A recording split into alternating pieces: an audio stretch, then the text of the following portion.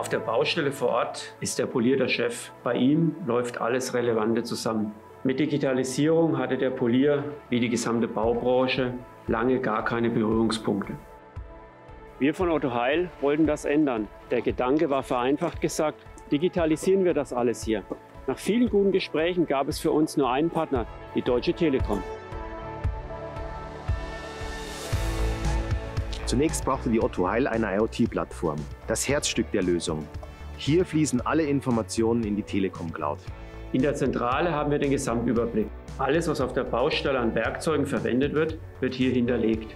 Zur Erfassung der Baustellenassets haben wir mit unserem Partner Seifit robuste Bluetooth-Beacons an Elemente wie Schaltafeln montiert.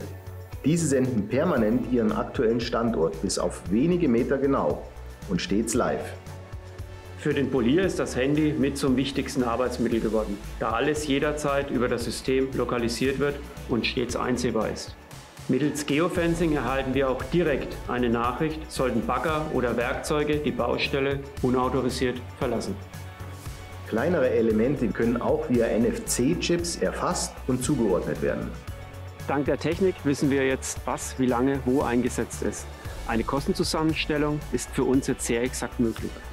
Die digitalen Mittel und Prozesse machen den Beruf auch wieder attraktiver für den Nachwuchs. Daher sind wir froh, mit der Telekom den richtigen Partner zu haben, um ein neues Zeitalter in der Baubranche zu gestalten.